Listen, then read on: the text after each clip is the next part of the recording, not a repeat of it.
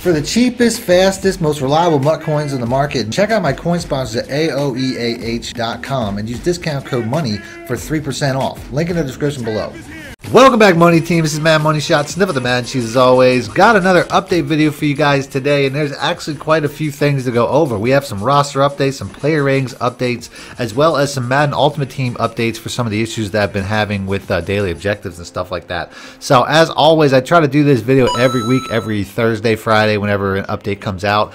Uh, this one isn't like a huge patch where they're changing a lot of things in the game, but there have been some improvements. So, I'm going to go over those later in the video. But if you guys want me to do more videos like this, as always, make sure to be a subscriber, hit the like button, let me know in the comment section. Other than that, let's go and skip right into the video. So I'm going to start off with uh, some information that came out from Madden NFL Direct's Twitter account, and that was their uh, attempt to address uh, one of the biggest issues for me in Ultimate Team was the daily objectives not tracking properly for some users. It said that going forward, players should see daily objectives track and reward correctly. Now that's part one. Part two is they also tweeted out something saying that they are working on a resolution for players impacted by this issue during the previous weeks. Now that might, to me, that sounds like they're going to have some sort of rewards or, um, you know, I, I, don't know how they're really going to track that, but it sounds like they're going to be giving away some free stuff. So if people were unfairly impacted by the fact that it wasn't tracking daily objectives, I know me personally, it wasn't working at all. I stopped playing MUT entirely based off the fact that it wasn't working. I'm still on level one because it hasn't tracked the single thing to improve my uh, my overall level. So to me, it was just like if I can't even earn rewards, there's no point in playing this game. Now, several times throughout the year, they have said that they have patched stuff already, and it hasn't actually been patched for everybody. So um, you know, this might be another one of those things. So let me know in the comment section if you're still having issues. If you're watching this video and you're still not getting your daily rewards tracked, um, but you know, it's still if it, if it improves for a lot of people, that's still a plus. Uh, and if you know if they give away some free stuff at the end of the day um, to try to make up for their for their mistakes, uh, whether in the form of packs or players, I'm not really sure what they would uh, end up doing, but that'd be really cool too. So you know, give something out free to the community for all the mistakes you've made, and that might be a good way to get people back into the game. At this point, you got to entice me to get me back in the MUT because I'm probably pretty far behind. I think people have to like 90 overall teams now. I think mine was like an 86 when the new uh, season came out, and I stopped playing because it wasn't you know recording at all. Um, if you give away some free stuff, that might be a good way to get people to come back. Uh, the next thing that I'm going to go over is the uh, the roster updates because we we're just past the trade deadline, and there was a lot of massive movement that is finally in the game uh, at the, after the latest patch. I know, like when Christian McCaffrey got traded, they they basically you know put him in the game right away. They put him right on the Niners, which um, you know that didn't even take till the you know later that night. But a lot of trades that happened close to the deadline weren't in the game immediately, uh, and they're all now in the game now. So I'm just going to go over them real quick. I already said Christian McCaffrey to the Niners, uh, Roquan Smith to the Ravens, uh, AJ Klein uh, was actually traded back to Chicago, but not a lot of people really you know even knew about that. Chase Edmonds to the Broncos, uh, Bradley Chubb to the Dolphins, which is like probably one of the biggest ones. The Dolphins are looking really good, by the way. They also got Jeff Wilson Jr. to the Dolphins from the Niners, which is a trade that for a fifth round pick, I wish the Eagles would have done.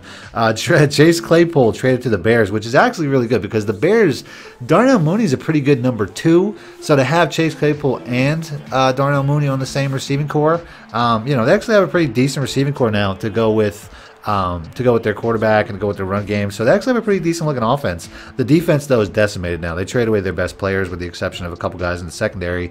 Um, TJ Hockenson, now with the Vikings, one of the better tight ends in the league, is 89 rated tight end. Um, so that's a really good uh, pickup. I mean, the, the Vikings are, are pretty good at tight. I thought Irv Smith was a pretty good tight end, especially in Madden. Uh, we already went over Robert Quinn, uh, who got traded to the Eagles. Calvin Ridley traded to Jacksonville. He can't play until next year, but I think he probably can play in Madden online, I would imagine. So that's a really good pickup. They have some pretty, a pretty good receiving corps now. The Bills got a couple of guys. They got a new running back, Nyheim Hines, who's fast and a good receiver. So that's actually a really good Madden pickup because they're a pass-heavy team. So to add a really good receiving back with some speed is kind of an upgrade, in my opinion, over Devin Singletary. They also picked up a safety by the name of Dean Marlowe, but I don't really know much about him. Uh, the Atlanta Falcons is where he came from. The Atlanta Falcons actually traded for cornerback Rashad Fenton from the uh, Kansas City Chiefs, so that upgrades their secondary. I did mention how the Broncos trade away Bradley Chubb, but they also traded for Jacob Martin. They got and that cost them a fourth round pick. I don't know how good Jacob Martin is, but they got him from the um, from the the Jets, which doesn't make a ton of sense because the Jets, if he's a good player, the Jets are in the playoff push right now.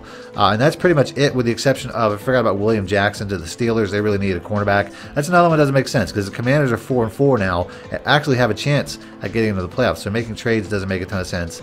Uh, a, a, while back, Deion Jones was traded to the um, was traded to the Browns uh, which I, I, didn't even know. So I'm just going over some of these.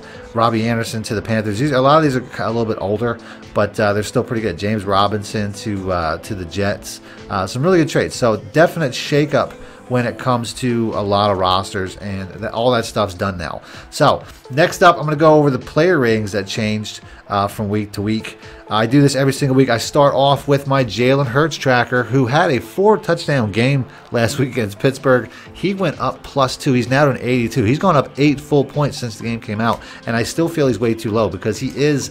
If you look, I know a lot of people think that Josh Allen is probably the MVP frontrunner, but if you look at their stats side to side, uh, Jalen Hurts actually has a lot of things better than Josh Allen. His completion percentage is better than Josh Allen. His average yards per attempt is better than Josh Allen.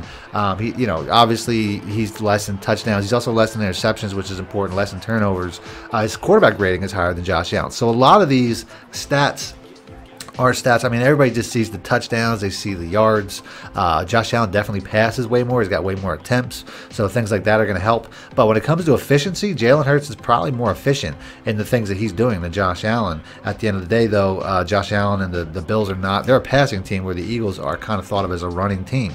So they don't definitely throw. They definitely don't throw the ball as much. But Jalen Hurts is up a plus two. Last night, Thursday night football, he had another good game, so I'm sure he'll get another plus one. He's pretty much getting a plus one every week, unless he has a massive game like a four touchdown game. Then he probably goes up a little bit. But uh, moving on to some other players, uh, Dalvin Cook is the highest rated player to go up this week. He's a plus one to a 94 overall. Pretty. I know he had a good game. I don't really remember what it was, but there's three guys that got plus ones that are up to 94s. David Bakhtiari, which you know nobody really cares about linemen, and Micah Parsons, who's also on a uh, meteoric rise as he's up to a 94 overall. Last week he got a plus one in speed. This week it's just a regular. You know, he didn't get a he didn't get a speed boost, but definitely you know the last gameplay I put out, I was playing against him, and it was noticeable how he just comes off that edge. So it's nice to see, um, you know, that I, I, don't know. He's definitely one of the best players in Madden right now because of that that edge speed. Uh, Joel Bitonio gets another plus one. I think he had a plus one last week. Justin Simmons gets a plus one. He's had some minus ones throughout the weeks. Uh, he, he's obviously going back up to where he belongs. AJ Brown only got a plus one. Three touchdown performance, only got a plus one. I feel like that should have been a plus two. A lot of people in my comments are saying that he should have um, some sort of uh, superstar ability at this point. I, I, tend to agree. The guy is playing like one. Aaron Jones plus one up to a 91. Laremy Tunsil plus one up to a 91. Amari Cooper plus one up to a 90. And Joe Mixon plus one. He hasn't gotten a plus one in forever. He's been negative, negative, negative. He's a plus one up to a 90. Quinnen Williams plus one up to an 89 overall. He's a guy that's uh, in the MVP conversation for Defensive Player of the Year um, from time to time. I mean, it really depends on how many games the Jets win, but very good player. Should probably be over 90 by now. Uh, Alvin Kamara gets a plus one. He's been probably one of the most negative guys since the game came out. So to see him jump back up a point is nice. He's up to an 88 overall. Jaylen Waddle plus one, 88 overall. He's been moving up since the game came out as well, having a monster year as well as um, Tyreek Hill. Dak Prescott plus one up to an 87, and Za'Darius Smith plus one up to an 87. Za'Darius Smith had Defensive Player of the Week last week, so that's a really good uh, jump there. Uh, but he probably should have got a plus two as well. They didn't give out a lot of plus twos for some reason, even though there's a couple guys that probably should have got it.